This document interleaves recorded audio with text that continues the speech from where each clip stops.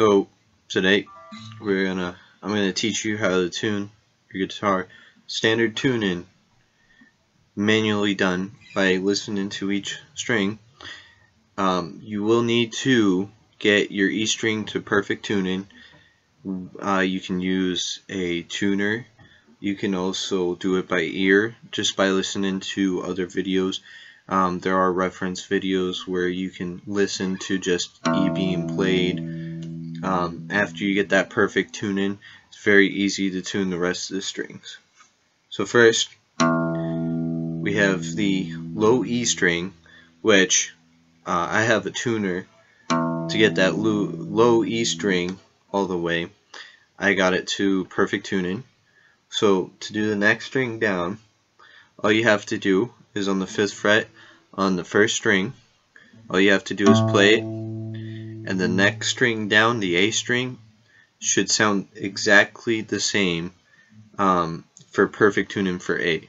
So you play E on the 5th 5th fret and then play your A string after that which you, you can hear it's a little off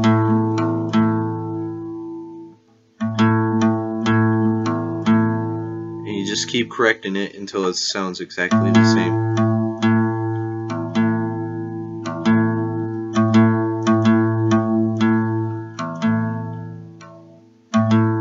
Same thing, you go down to the next string. A is in great tuning. Next string, all you have to do is fifth, fifth fret on that string. Same idea. You play the A string and then you play the D string after that and then you slowly adjust it until it sounds the same.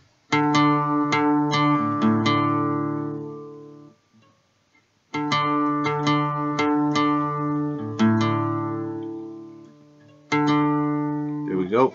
Next string, same idea.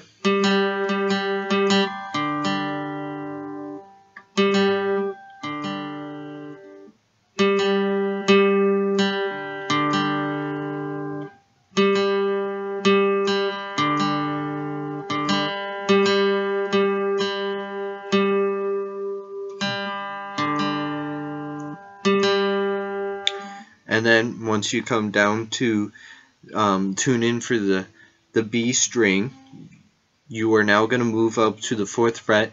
This is the only one that is an exception in the rule. You move up to the fourth fret when you're tuning the B string. So I have my finger on the fourth fret for the G string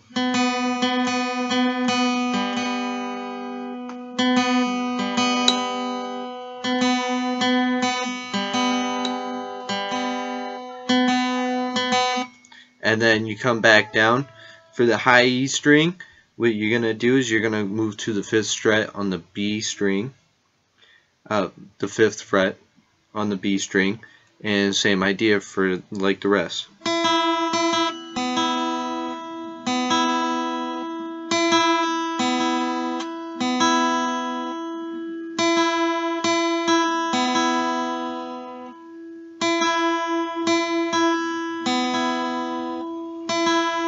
And there you go.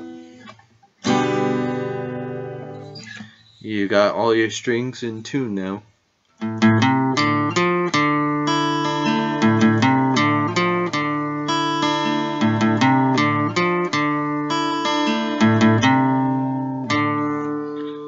And that's how you do it.